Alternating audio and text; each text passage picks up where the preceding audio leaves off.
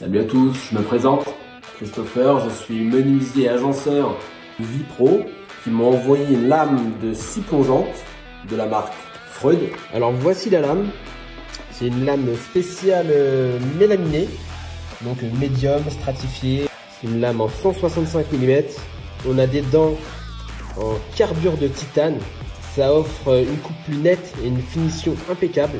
On a euh, donc des dents euh, alternées droite et gauche avec un angle de 30 degrés. La dent, elle, fait 2,6 mm et le corps de la lame fait 1,6 mm pour un alésage 20.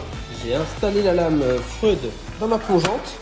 On va faire un test sur un panneau de mélaminé. On va descendre la lame à fond pour avoir une coupe propre en dessous aussi.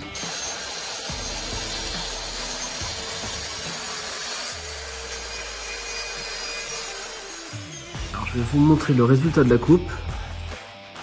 On a une coupe impeccable. Il n'y a pas un éclat. Super coupe. Et à l'arrière, c'est pareil, on a une coupe très propre, sans éclat.